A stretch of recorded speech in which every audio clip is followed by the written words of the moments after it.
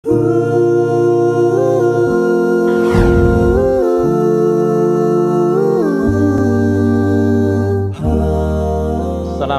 warahmatullahi wabarakatuh.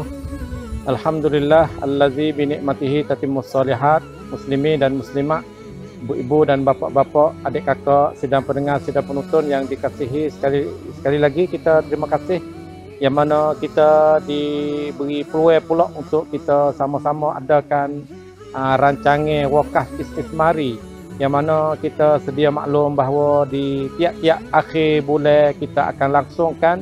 agenda is wakaf istismari yang untuk dapat peluang bagi kita untuk kita membekali waktu kita nak hidup di negeri akhirat nanti untuk menjadi wakaf jariah kita baik di kita untuk diri kita sendiri dan juga untuk di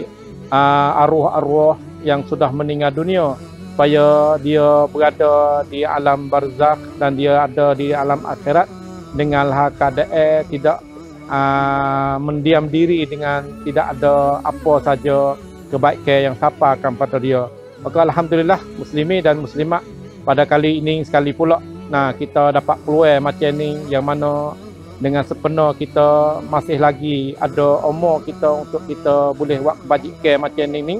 sepenuh belum daripada kita akan jumpa dengan bulan Ramadan sebagai bulan yang nah supaya sama-sama kita gemari dalam kita beribadat. Maka pada kali ini adik kakak sekali lagi kita sama-sama bagi peluang pada adik kakak ibu-ibu kita bapa-bapa muslimin dan muslimat. Yang mana sedia kita maklum bahawa kita di akhir-akhir bulan kita akan buka peluang kepada muslimi dan muslimat supaya kita jadikan wakaf istismari wakaf yang dapat laba di dunia dan kita dapat laba di negeri akhirat. Maka bagi kalangan pokok kita tak merasa kata tak ada siapa dia tak berakhir untuk kita nak wakaf.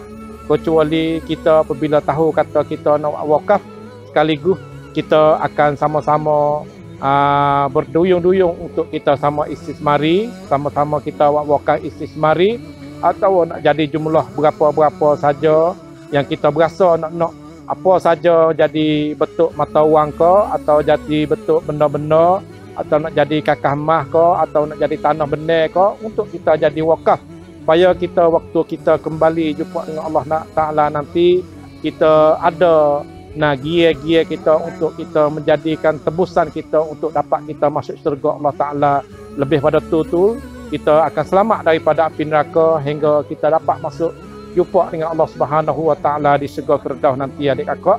Maka peluang yang ada ni, Cik Mei duk berasa kata adik kakak sedang duduk tunggu-tunggu, adik kakak sedang-sedang duduk siu-siu untuk kita sama wakafkan istismari pada kali ini dan pada kali yang lain-lain lagi insya-Allah Moga-moga segala amal ibadat kita, segala amalan kita akan diterima oleh Allah Subhanahu Wa Taala dan akan Allah Taala bagikan ganjaran akan Allah Taala balaskan kepada kita dengan secomel-comel balasan. Tapi itu adik kakak muslimin dan muslimat apabila peluang macam ni ada bagi kita ni ni maka suruhnya tik supaya adik kakak sama-sama kita berubuk peluang-peluang macam ni yang terasanya peluang-peluang macam ni tidak uh, terlalu banyak sangat maka insya-Allah taala dengan pada kali ini pula sekali lagi kita akan sama adakan wakaf istismari ini yang mana tikme terasa kata adik kakak akan sama ada saham bersama nah demi untuk kita jadikan satu kawasan nah di kawasan Madinatul Salam ni sebagai tempat Nah, pusat bagi umat Islam kita di kawasan ini terutamanya dan menjadi tupak tepat uh, pusat bagi umat Islam kita di mana-mana mana-mana tempat lagi. Betul adik kakak, insya-Allah pada kali ini kalau adik kakak sudah dengar, adik kakak sudah dapat mengetahui kata sekali lagi kita dapat peluang macam ni, maka adik kakak jangan tunggu-tunggu lagi apa saja yang peluang yang Allah Taala bagikan kepada kita. Walaupun nak jadi jumlah yang tidak terlalu tinggi sangat ke atau jadi jumlah yang kita berasa apa lebih puas hati bagi kita maka adik kakak selekekan untuk kita sama akan jadikan wakaf istismari yang kita akan langsungkan pada akhir bulan di tiap-tiap bulan terutamanya di bulan ini adik kakak insya-Allah taala maka di kali ini demi berasa apa nasib baik apabila kita dapat peluang macam ni dan untuk berasa kata satu kebahagiaan hidup kita sebelum daripada kita nak bahagia hidup kita di negeri akhirat nanti. Maka insya-Allah waktu istismari kita pada kali ini kita akan langsungkan, kita akan anjurkan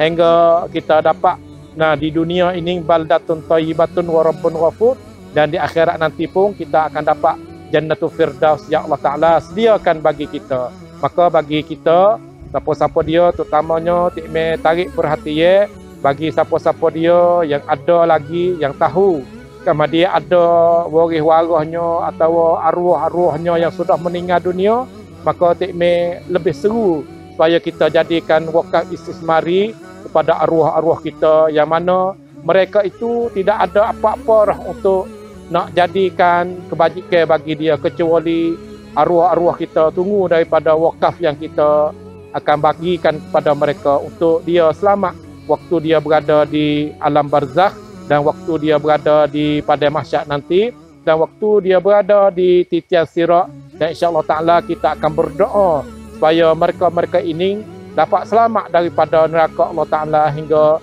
dia dapat masuk syurga Allah Subhanahu wa taala jannatul firdaus di negeri akhirat. Serta kita berdoa supaya mereka-mereka ini yang dapat jariah daripada kita ini supaya mereka ini akan dapat jumpa dengan junjungan Nabi kita Muhammad sallallahu alaihi wasallam. Serta kita akan dapat izin oleh Allah Taala supaya kita dapat minum telaga kausar Nabi kita hingga kita berada di suasana yang begitu seronok dalam syurga nanti insya-Allah taala wabillahi taufik wal hidayah wassalamualaikum warahmatullahi wabarakatuh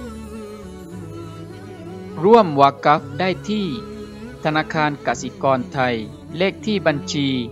109 146 5171 มูลนิธิมดินาตุสสลาม